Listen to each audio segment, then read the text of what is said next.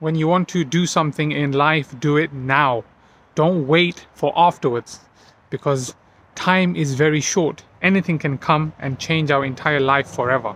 For example, there was a friend of mine who was interested to move to Turkey and for so long he's been messaging me again and again and suddenly he sent me a message a few days ago saying that he's been diagnosed with something and he has only two weeks left to live and mashallah the guy few weeks few days before that messaged me the same person saying he has like millions of dollars ready to invest in turkey where are those millions of dollars going to go now so you have to understand you want to act, you want to do something, you want to achieve something, whether it's hijrah, whether it's something good for your children, you want to spend time more with your family, connect with Allah, do something good.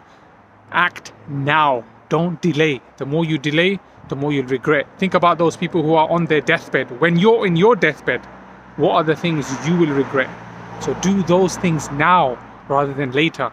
Money can be delayed, it will come. What's written for you will come for you. Don't waste your time in running after money and working all the time. Do what's meaningful for your life, for this life, and more importantly, in the life, everlasting life hereafter.